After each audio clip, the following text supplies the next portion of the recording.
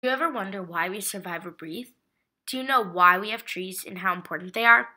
Well, this is all thanks to photosynthesis and cellular respiration. So, to start off, there are two kinds of organisms autotrophs and heterotrophs. Heterotrophs are organisms that eat other organisms.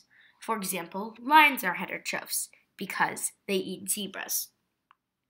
On the other hand, autotrophs are organisms that make their own food. This includes plants and trees. Anyway, photosynthesis and cellular respiration are extremely important, and without both processes, we would die. To start off, there is a picture of a leaf right here, and below it is a cell. This cell is called chloroplast. Inside chloroplast, there is a pigment that sucks up sun. As you may know, plants need sun to grow. So the sun is an input for chloroplast. Chloroplast absorbs the sunlight, and the plant goes through a process called photosynthesis, where small openings in the leaf, called stomata, inhale carbon dioxide and exhale oxygen. When the stomata do this, they're going through the process of photosynthesis. They let out oxygen and sugar.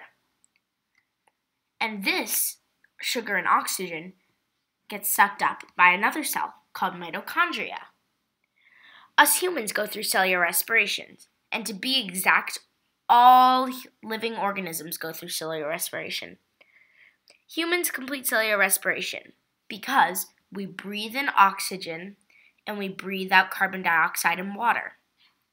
So that's the process of cellular respiration. Most importantly, we create energy when we breathe. This energy lets us get through the day. Energy is also known as ATP.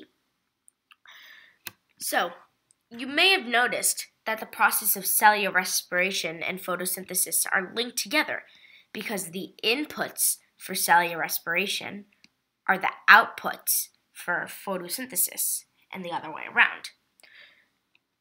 Okay, so to be clear, autotrophs are organisms that create their own food by going through photosynthesis.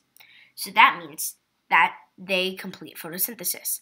But all living organisms go through cellular respiration, so that means they also complete cellular respiration.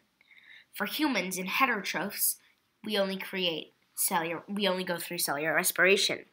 So, if you ever wonder how we stay alive, think autotrophs for creating oxygen in the process of photosynthesis.